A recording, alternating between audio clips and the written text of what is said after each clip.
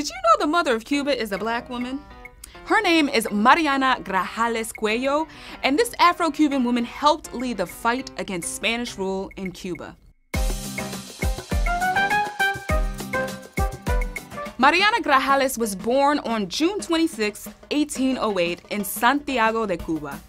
Though Mariana was born free, slavery was alive throughout Cuba. Between 1800 and 1865 alone, nearly half a million enslaved peoples were brought to the island. Mariana became outspoken against slavery and fought for the rights of free black Cubans, who were also surveilled and targeted by police. Over time, the political system in Cuba became more and more oppressive. In 1868, Mariana and her second husband, Marcos Maceo, agreed to help Cuban rebels in their fight against Spanish rule. This fight became known as the Ten Years' War. Mariana's sons joined the Cuban Liberation Army to her encouragement. She created a hospital for wounded soldiers, and sometimes she even provided care for rebels in the middle of combat. Though Mariana's husband and several of her sons were killed during the war, her thirst for independence never wavered.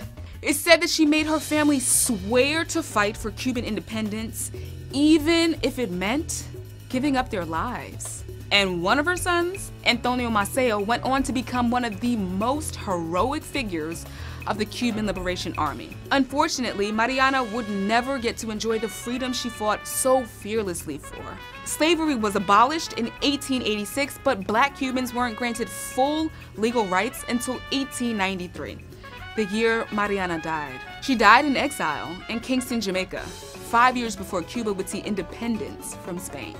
In 1957, Mariana Grajales Cuello was officially declared the mother of Cuba by the mayor of Havana.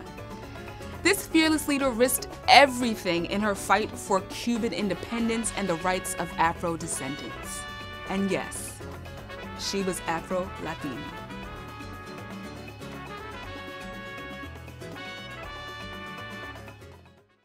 My grandmother, a Cuban woman, she would often tell me these stories about um, Maceo. She would say, you know, Marti, he, he would fight with his pen, but Maceo, he was the real hero. And it is such of a, a, privilege to be able to tell the story of his mother. Obviously, there's there's this great history there, and I get to share this history with you.